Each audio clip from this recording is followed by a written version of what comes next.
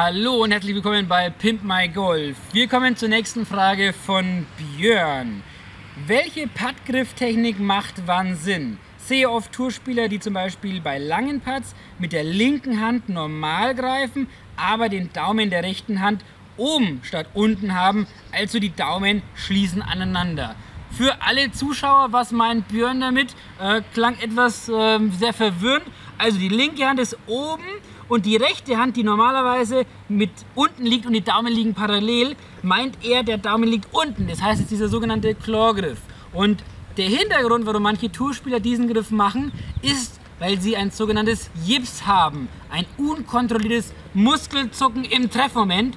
Und mit diesem Griff können sie, weil der Jips bei ihnen halt aus der rechten Hand kommt, diesen Jips reduzieren. Ich würde allerdings keinem Golfer diesen Griff empfehlen. Erstmal bei eurem Pro überprüfen lassen, ob ihr denn einen, einen, einen Gips leidet.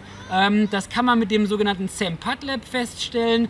Und da merkt ihr dann und da seht ihr, ob ihr ein unkontrolliertes Muskelzucken im Treffmoment habt. Der Nachteil ist, dass eben durch dieses Muskelzucken im Treffmoment sich die Schlagfläche verdreht und die Bälle nicht dahin rollen, wo ihr hin haben möchtet. Was ist wichtig bei einer Griffhaltung, bei welchen, welche Grifftechnik ähm, würde ich euch empfehlen? Und zwar, ich würde den normalen Griff machen wie im langen Spiel. Ich empfehle hier diesen Overlap-Griff.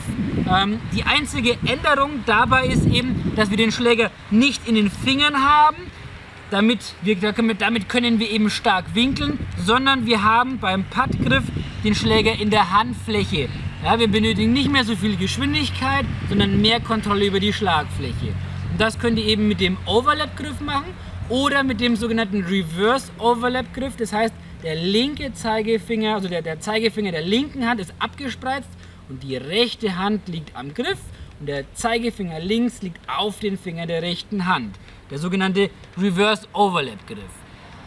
Ob ihr, ob euer Griff richtig ist, könnt ihr wie folgt feststellen. Ihr nehmt euch zwei Golfbälle, legt die an die Schlagfläche im gleichen Abstand und macht einen Putt.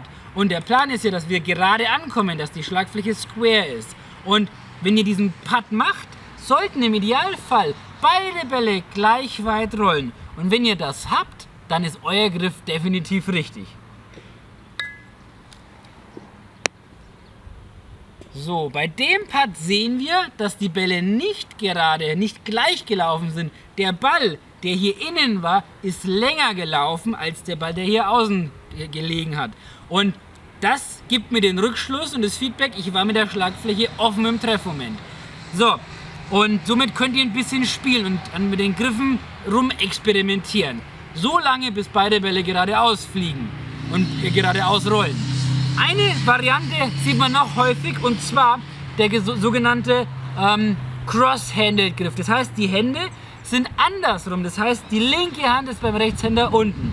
Und diese Variante sorgt im Endeffekt dafür, dass die Schlagfläche mehr offen ist. Könnt ihr mit einbauen bei eurem Ausprobieren und ich wünsche euch viel Spaß dabei. Bis zum nächsten Video.